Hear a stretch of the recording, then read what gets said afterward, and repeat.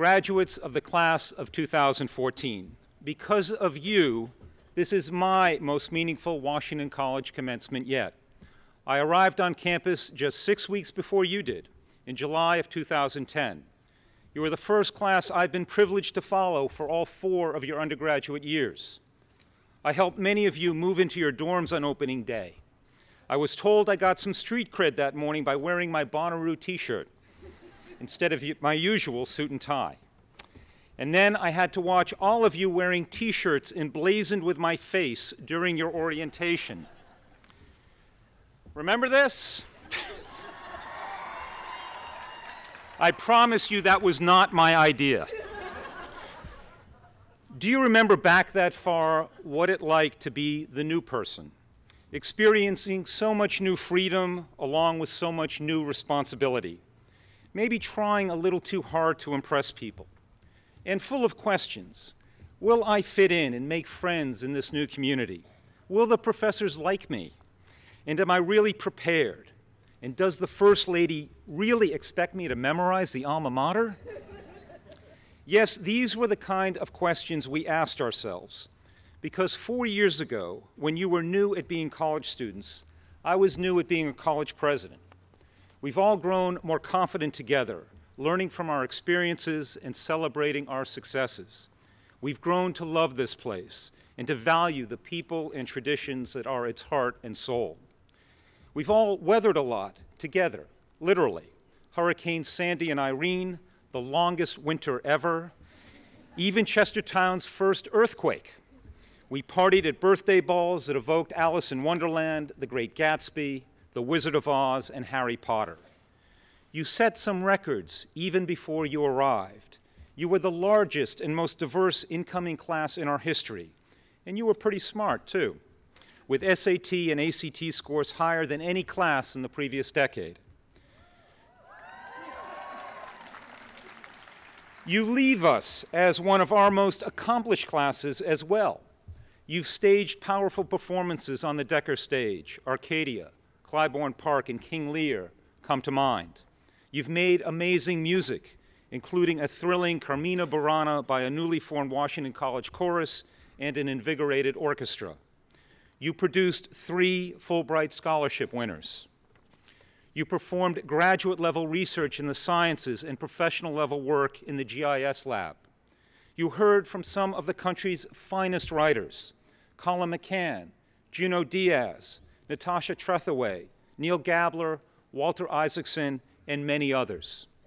You heard from men who've made history, former Marine Corps General James Mattis, former Pakistani President Pervez Musharraf, investigative reporter Seymour Hersh, Nobel Prize winning chemist Mario Molina, former FBI Director Louis Freeh, and political strategist David Axelrod.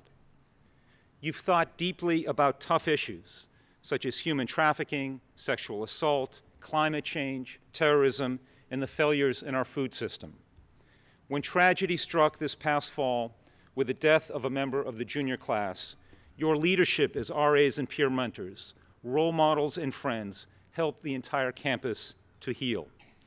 I was so proud of the way the community pulled together to mourn and support each other. During your four years here, you have made our new Hillel House a home, welcomed Gus the Goose as our mascot, and given up trays in the dining room. You suffered through the short-term construction plans for the long-term pleasures of a thoroughly renovated Miller Library, an expanded Johnson Fitness Center, a bright new admissions visitor center, and a whole new design for our website. You've left a remarkable record of community service, from Relay to Life and Habitat to Best Buddies and food drives for the food bank. You've walked together through the streets, many of you men in red high heels, to raise awareness for domestic violence. You watched our lacrosse team defeat Salisbury in the 2013 War on the Shore. And you tried to storm the field in celebration, only to be deterred by a very large German Shepherd in the canine unit. You turned 21 and were finally able to attend happy hour at the Imperial and Team Tuesdays at the Bluebird even if Tricia had to check your IDs twice. You were the last class to experience real iHouse parties. Although I must confess to not being real sure what those entailed. Did the I stand for inquiry? Hmm, probably not. And just think the last time your class was all assembled on this great lawn was for fair play during your freshman orientation. Surely the most awkward icebreaker ever invented. In sports, you've hit so many high notes, breaking swimming records, starring in basketball movies, and competing for championships. This past year, our head trainer, Thad Moore, was selected as the NCAA Division III Athletic Trainer of the Year. In lacrosse, both head coaches, Jeff Shirk and Heidi Yetman, were named Centennial Coaches of the Year. And the men's lacrosse team, having won the conference championship for the first time since 2003, is now headed to the D3 semifinals tomorrow.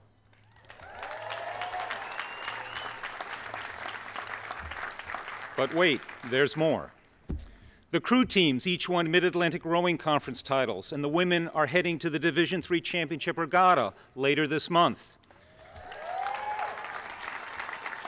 Our sailors, our sailors are headed to the Co-Ed Championship Regatta in June. And all the time, you have demonstrated good sportsmanship and teamwork and shared sacrifice. These values will serve you well for the rest of your lives. Graduates, as citizen leaders of the 21st century, you'll be called upon to answer many tough questions. What is the proper role of government and the rights and responsibilities of citizenship? How do we renegotiate our relationship with the environment? What is the appropriate balance between privacy and security? What does it mean to be human if 90% of the human body can be replicated? As graduates of Washington College, you know that these tough questions call for an open mind, careful thought, and deep reflection. The world you're inheriting is getting faster and more cluttered with information every day.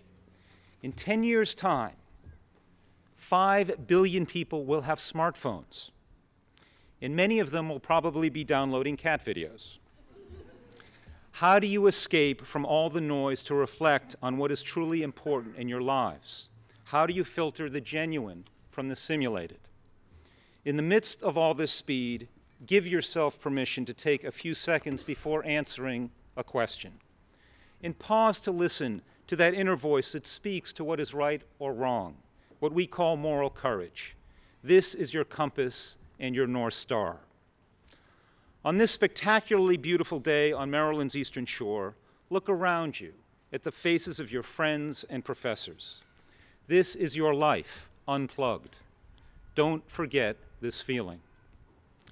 You've studied with each other, hung out with each other, competed with each other, and cared for each other. You've argued and debated with each other. You've consoled each other when we've had setbacks. You've celebrated your victories together. You've established a bond down through the ages with our personal founding father, George Washington. You've grown intellectually and in maturity. In other words, you've become a class together, the class of 2014.